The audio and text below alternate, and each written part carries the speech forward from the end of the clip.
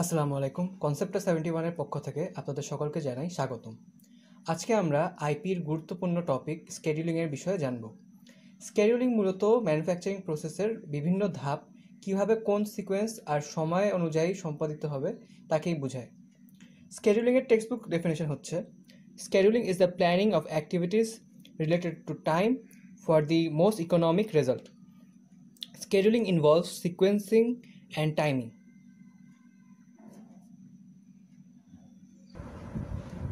স্কেডিউলিংয়ের গুরুত্বপূর্ণ দুটি কম্পোনেন্ট হচ্ছে সিকোয়েন্সিং এবং টাইমিং একটি প্রসেসে কোন ধাপের পর কোন ধাপ সম্পাদিত হবে তাকে আমরা সিকোয়েন্সিং বলি। এবং টাইমিং বলতে আমরা বুঝি কোন কোন টাইমলাইন ধরে বা কত সময়ের মধ্যে আমাদের কাজগুলো সম্পাদিত হবে।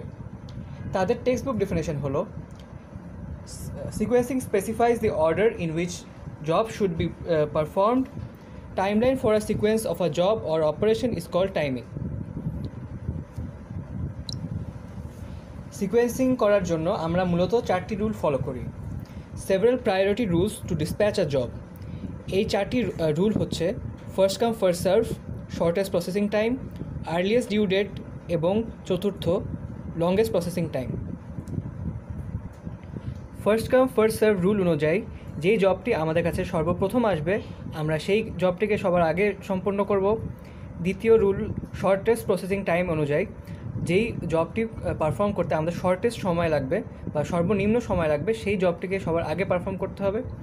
এবং আর্লিয়েস্ট ডিউ ডেট অনুযায়ী যেই যেই জবটা সবার আগে ডেডলাইন সেই জবটাই সবার আগে পারফর্ম করতে হবে।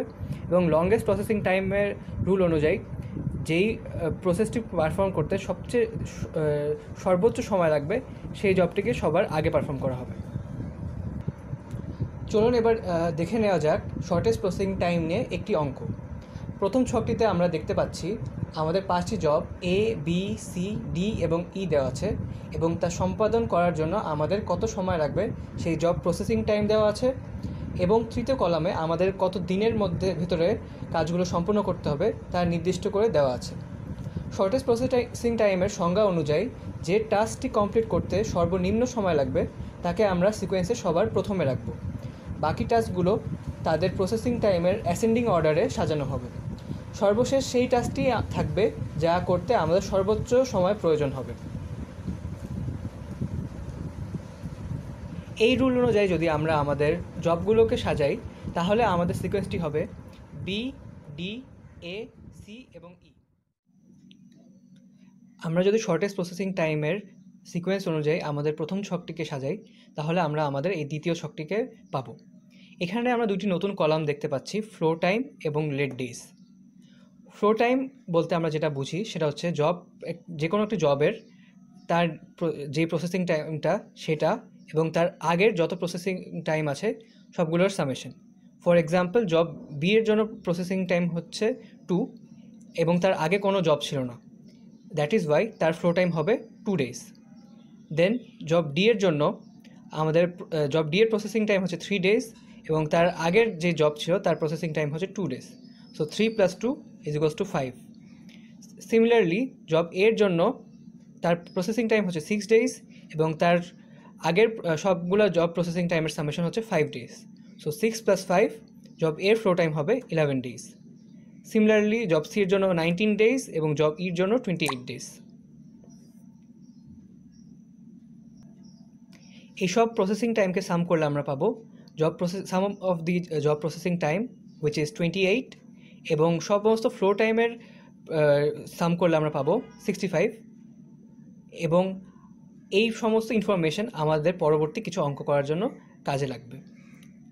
এখন আমরা যদি আমাদের ফ্লো টাইমকে এবং জব ডিউ ডেট যেটা কিনা আমাদের ডেডলাইন তাদের দুজনকে যদি কম্পেয়ার করি, তাহলে আমরা আমাদের লেট ডেজগুলো পাবো। ফর এক্সাম্পল জব বি এর ফ্লো টাইম বা আমাদের জব বি কমপ্লিট করতে আমাদের দরকার ছিল টু ডেজ এবং আমাদের ডেডলাইন ছিল ছয় দিন পরে। সো এখানে কোনো লেট হওয়ার কোনো সম্ভাবনা নেই। সো আমাদের লেট ডেজ হবে জিরো সিমিলারলি জব ডি এর জন্য আমাদের দরকার পড়তো ফাইভ ডেজ এবং আমাদের জবটা কমপ্লিট করতে হতো পনেরো দিনের মধ্যে। তো আমাদের এখানেও কোনো লেট ডেজ নেই। সো লেট ডেজ হবে জিরো কিন্তু জব এ কমপ্লিট করার জন্য আমাদের লাগতো ইলেভেন ডেজ কিন্তু আমাদের ডেডলাইন ছিল আট দিন পরের। সো এখানে আমাদের তিন দিন ডিলে হচ্ছে। সো লেট ডেজ হবে থ্রি দেন জব সির জন্য আমরা দেখতে পাচ্ছি, আমাদের লেট ডেজ হচ্ছে ওয়ান বিকজ আমাদের জব সি কমপ্লিট করতে আমাদের লাগতো নাইনটিন ডেজ কিন্তু আমাদের ডিউ ডেট ছিল এইটিন ডেজ পরে। সো আমাদের লেট ডেজ হচ্ছে এখানে একদিন।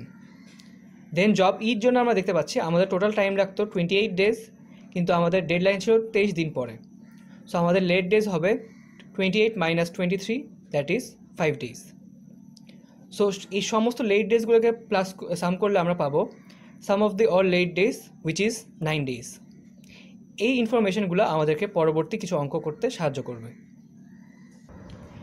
স্কেডিউলিংয়ে আমাদের একটি গুরুত্বপূর্ণ অঙ্ক হচ্ছে average number of jobs in the system এবং এভারেজ জব লেটনেস তো average number of jobs in the সিস্টেমের ফর্মুলা হচ্ছে sum of the total flow time divided by total job work time so আগের ছক থেকে আমরা জানতে পারি যে আমাদের টোটাল ফ্লো টাইম হচ্ছে সিক্সটি ফাইভ ডেজ এবং টোটাল জব ওয়ার্ক টাইম হচ্ছে টোয়েন্টি এইট ডেজ সো এই দুইটিকে ডিভাইড করলে আমরা পাবো আমাদের average number of jobs in the system which is two point three two jobs তারপর অ্যাভারেজ জব লেটনেসের ফর্মুলা হচ্ছে total late days divided by number of jobs তো আগের ছক থেকে সিমিলারলি আমরা ইনফরমেশনগুলো নিয়ে আমরা পাচ্ছি total late days nine days এবং number of jobs five so nine divided by five one point eight days হচ্ছে আমাদের অ্যাভারেজ জব লেটনেস